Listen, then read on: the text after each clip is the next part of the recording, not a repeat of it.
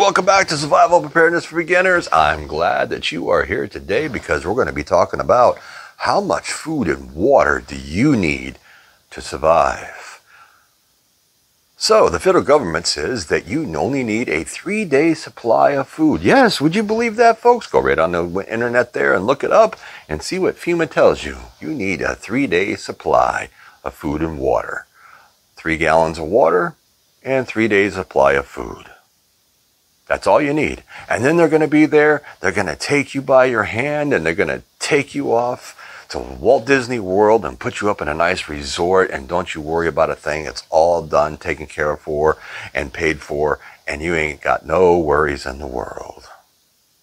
Now, if that isn't the biggest BS story you have heard today, I don't know what is. So let's go off of what you really need. All right. Now, let's go start with the calorie count. All right, because a lot of people just don't understand this and don't, don't realize what their calories per day should be. A woman should be about 2,000 calories, which breaks down in a six month period. We're talking about having a six month food supply put up just because. Okay, so for that six months is 360,000 calories for a woman. A man is 2,500 calories per day. That breaks down to about 450,000 calories for a six month period. Now, why am I talking about a six month period?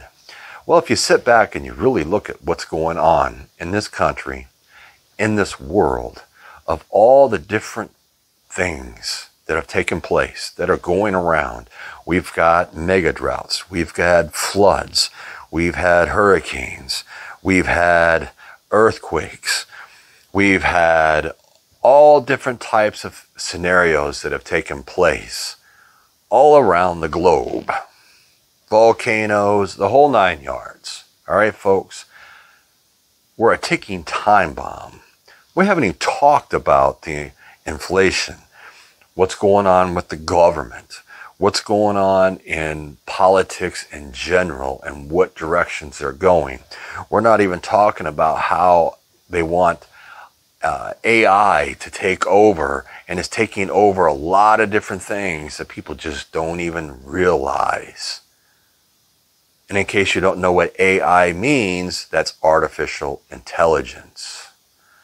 It's a very scary thought because computers are slowly taking control, and most of you people out there don't realize it. So, water Water is the number one thing that you have to make sure that you secure for your survival. Now that's the tough one because you need a gallon of water a day, 30 gallons per month, which breaks down to 180 gallons for six months, 360 for a year. All right, now you break down your gallon of water per person into as follow. You have a half a gallon to drink. You have a quarter a gallon to cook with and a quarter of gallon to wash with. Okay? So that's how you got to break that down. So the one gallon covers your drinking, your cooking, and your washing. Washing your body, keeping yourself clean, and the whole nine yards. Even if it is a disastrous type situation, you got to make sure that you stay clean to make sure that you stay healthy. Okay? So, what are some of the ways that we can do this? You can start putting up your own food. You can keep track of the calorie count per serving and everything else on everything that you put into your pantries, your storage, whatever it is. If you can food, freeze dried food, if you dehydrate food, however you do it, however you can afford to do it, you can keep track of the calorie count. Okay? And this way here, you can assure that you're going to get close, at least close to the approximate calories per day. Now, another way that you can do this, because that will be a lot of work for you to do, you are going to have to have ways of writing everything down as far as all your calories and everything else.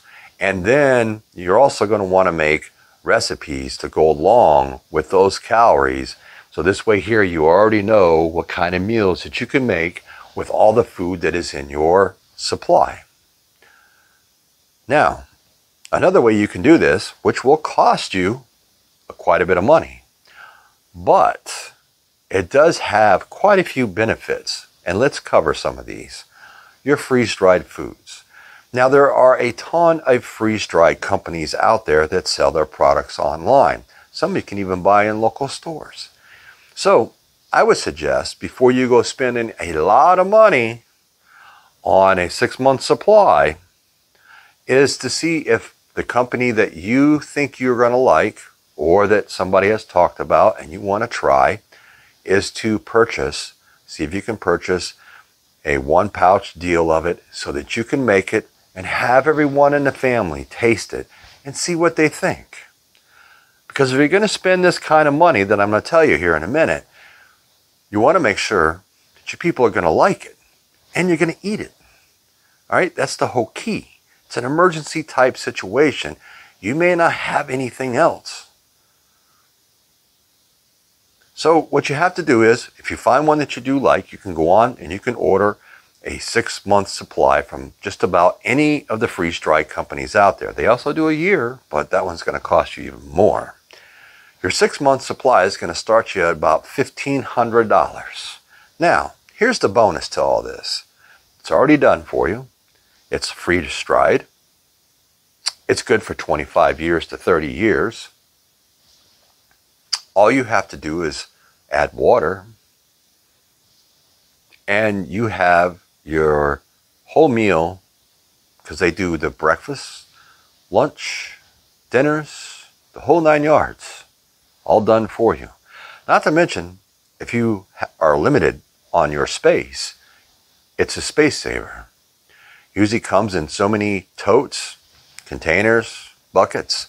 They all ship them in different ways. So it's easier for you to store either under your bed, in a closet, spare room, throw a sheet over it, nobody can see it, and you don't have to worry about it anymore. You just have to make sure that you can get water. You have to make sure that you know where your water source is if you have to get water outside your home. You also have to make sure that you do have a way to filter that water that you are going to get from outside your home. And you have to make sure that you have some way to cook, at least boil water. Because if you're getting it from someplace, and maybe if you're not so sure about it and everything else, even if you filter it, I would highly suggest that you boil it too to make sure that you're killing off anything that's left that the filters didn't catch. And this way here, you're playing it safe, you're not going to get sick, because that's the last thing you want. And this way here, safety is the number one concern in an emergency type situation. As I always say, expect the unexpected. Be prepared. So, how much food and water do you really need to survive? Well, if you're a woman, you need 2,000 calories per day. If you're a man, you need 2,500 calories per day. And everybody needs a gallon of water. Now, you also could sit there and, you know, you could say, well, I'm going to do half and half. That's great. You can do that. You could have half freeze dried foods. You could have the other half as all your canned foods and your dry goods. You can put them all up in Mylar bags and do all this kind of stuff. And you're still going to succeed at being prepared for that six month window. Now, should you go farther than that? Possibly so. We'll have to wait and see how this all plays out. But I would highly suggest for people to strive to hit that six month goal of having food on hand. Because with the way that everything is going right now, it's like a snowball out of hell. And it's rolling down the hill, folks. So, in closing, I just want everybody to be prepared and to know how much food and water you actually need to survive on a daily basis. And then multiply that, put it in place, and set a goal for your six month food and water storage. Your water, you may have to make sure that you have some way to transport water, buckets, whatever, and make sure you know where a good water source is the best water source that you can find closest to where your home is or your shelter, depending on the situation. Having the water is the key to the whole survival. And speaking of survival, I'm Survival Preparedness for Beginners. Thank you for joining me on this video today. I really do appreciate it. I thank you for everything that you guys have done for my channel. And until next time, you all stay safe, keep prep, and thrive to survive. I'll catch you on the flip side.